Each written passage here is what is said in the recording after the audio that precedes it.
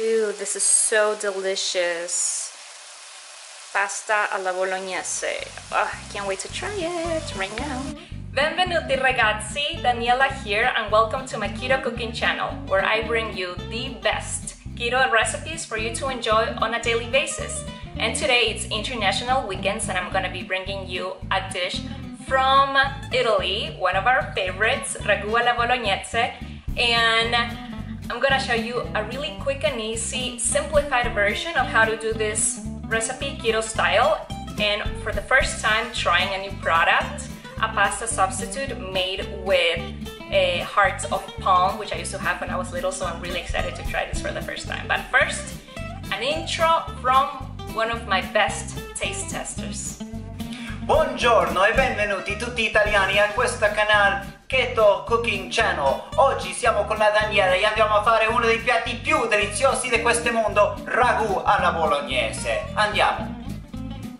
Allora, prima di cominciare, non dimenticare piacere e sottoscrivere a questo canale in modo che possiamo continuare a offrire ricette più deliziose di questo mondo vecchietto. Allora, andiamo! Allora, avete bisogno di half a pound of ground beef, the whole package of the Palmini Hearts of Palm linguine, 3 tablespoons of olive oil, 2 tablespoons of grated Parmesan cheese, half a tablespoon of dry oregano, 1 teaspoon of powdered garlic, and 1 large tomato. This one is 9.5 ounces. Andiamo ragazzi. So I have to admit that I'm actually really really excited about this product. I just learned about it a few days ago. My sister told me about it and I was like, what is this? So I had to buy it. I got it, you know, in Amazon two-day shipping and I've been really excited. So, and something that I didn't know before I bought it was that it's made in Ecuador, believe it or not. As a, uh, I used to eat a heart of palms when I was little, like in salads and things like that. And uh, now they came out with this new product. Who knows if it's gonna taste good? Probably doesn't, I don't know, because you know, when you buy pasta substitutes, they're weird. Um, I usually just use zucchini if I want to do like a pasta-esque sort of thing, but if they are saying it and I, and I read a few reviews and people like it, I don't know, let's see. It says here that it is uh, harvested in an environmentally sustainable way, hopefully it is, so that it's all really cool and it only has for the ingredients sliced hearts of palm, water, natural sea salt, and citric acid which is awesome because I try to eat like whole foods. I try to stay away from packaged products if I can. So when I read a very like a short list of ingredients, that's when I know that it's the right product for me to try. So let's give it a try. I actually forgot to mention that in this whole package with supposedly three servings, it's not three, I would say it's like one or two max um, in the whole package there are six net carbs which is amazing amazing amazing which is another reason that I bought it right away but I just drained it and I passed it under the cold water for some time and this is what it looks like it does look like pasta actually like linguine but I'm gonna try it right now for the first time. I, you, I know when we used to eat um, hearts of palm, you could just eat it out of the can. So I'm gonna try it.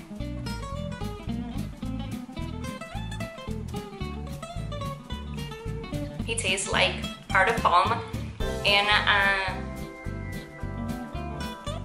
to me, it's actually a little bit too al dente.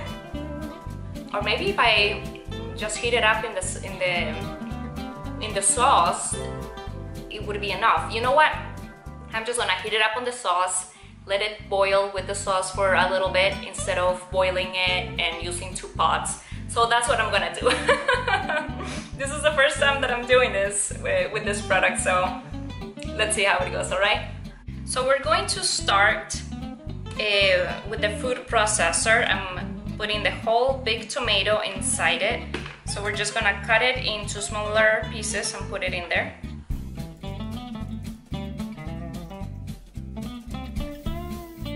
Perfect. I'm gonna start by putting the heat on high All right, so that's on high. And I'm just gonna put all of the tomato.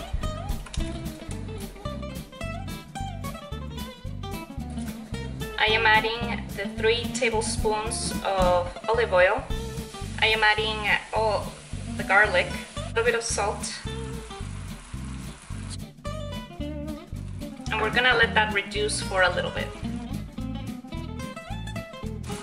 I'm adding the dried oregano, which actually came from my mom's garden. She dried it and she gave it to me. So it's gonna come out tasting even better. I'm just gonna add the half a pound of ground beef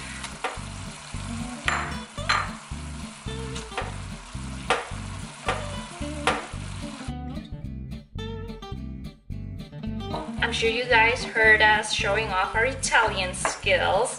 When I was in college, I lived and studied abroad in Rome for a few months, and it was such an amazing time in my life. And I ate a lot of pasta, of course.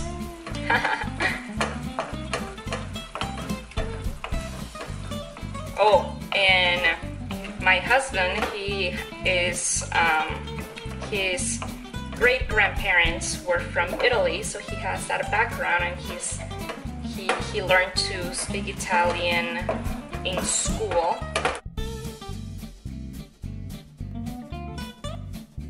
We are going to let that simmer for a little bit for it to all cook together. I'm gonna put it to the lowest possible flame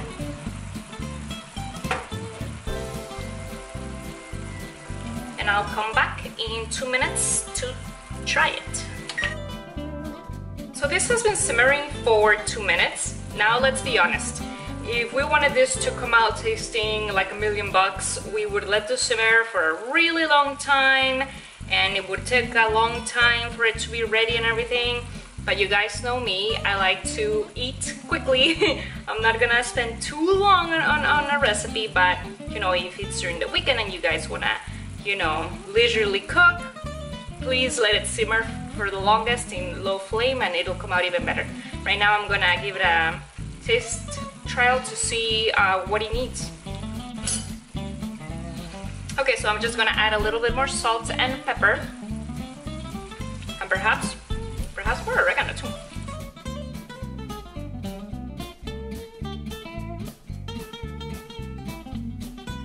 Alright, so I've added the I've added some more spices that I thought it needed, some salt, pepper, extra oregano. And now I'm gonna add uh, the hearts of palm and let them cook in the sauce for a little bit. So the hearts of palms don't need to be cooked, they, they are ready to eat as they come out of the package, but you want them you want to heat them up of course and if you want them softer you have to cook them separately uh, but I didn't need them to be any softer. Um, well yes yes but I hopefully they get a, a little bit softer um, just by heating up on, on with the sauce. So I'm gonna let this simmer for like another three minutes so that it, it all combines. And late lunch is ready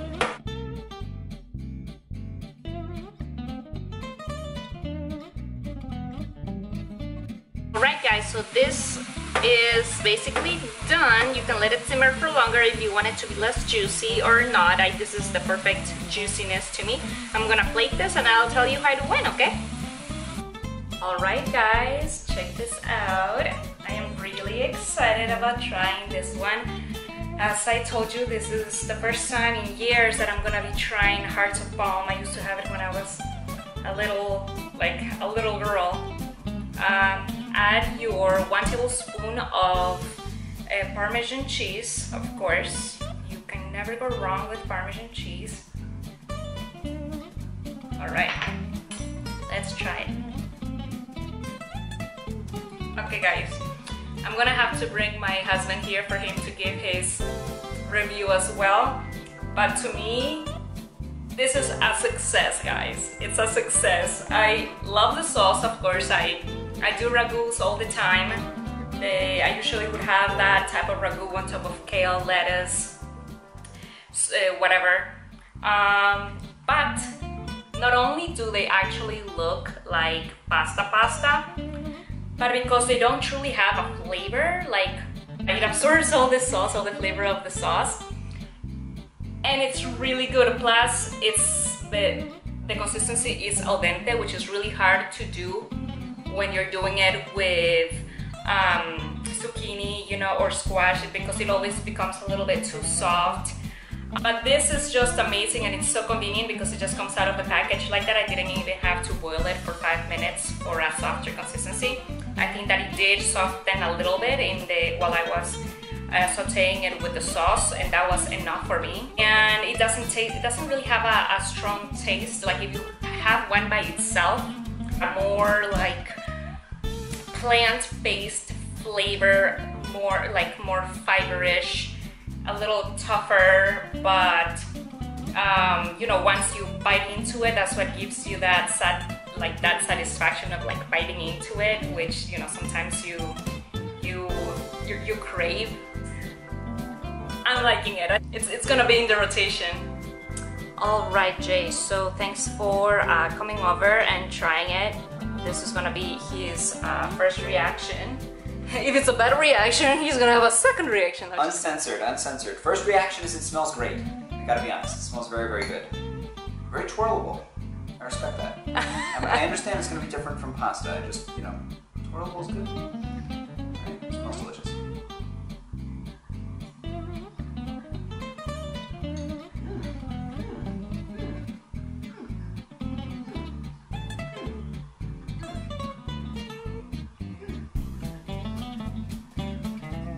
That's a pretty annoying reaction. Wow, that's good. It's not pasta, but it gives you what you want out of the dish. Like, when I eat pasta, excuse me, I want, excuse me, the flavor of the sauce. I want the flavor of what's on top. It, it absorbs the flavor of whatever you've baked in it, right? So this for me is giving off serious meat, bolognese, tomato, cheese vibes. And the pasta, whatever this is, the palmito, is really just a support it's really just there to kind of not get in the way and give you the taste of everything else. It's very good. I actually don't know what the palmito tastes like because I'm getting so much of the sauce, you know what I mean? I think that's good. To me, that's the mark of success. This won't taste like spaghetti, but it's not gonna taste like it's not spaghetti, if that makes sense. Like, when I bite into spaghetti, I wanna taste certain things in the sauce, and that's exactly what this gives me. So, I couldn't tell you what the heck this is, but it's really good. All right, you're eating all my you're eating all my meal. Oh, is this yours? Oh crap! I'm sorry. Okay, last one. Isn't there another dish? I'll, I'll, it's okay. I'll steal from yours. Okay. All right. Well, I think we got it. Yeah, we're we're so piacere sosscrivere. Questo ha sido canal Keto Cooking Channel con la Daniela. Uh, andiamo a andiamo a, a mangiare. Oh. Buona giornata.